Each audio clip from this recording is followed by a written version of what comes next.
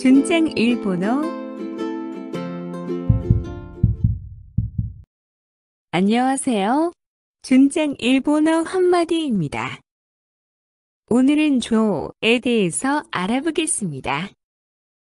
종지형에부터 자신의 의향이나 기분 등을 상대에게 의도적으로 인식시키려 하고 스스럼이 없는 표현입니다.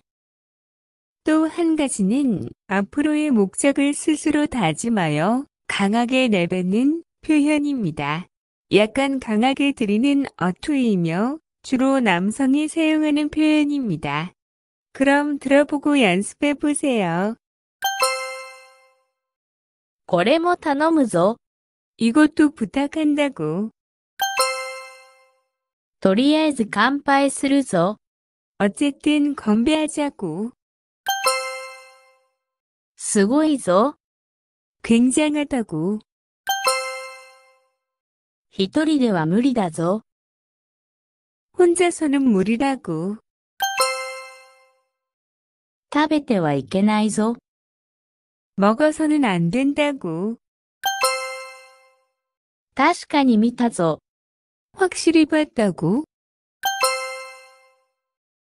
必ず成功してみせるぞ。 반드시 성공해 보이겠다고. いつかはきっと勝ってしまうぞ。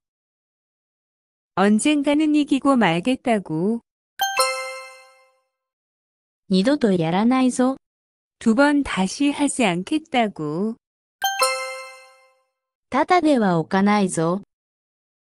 그냥 두지 않겠다고.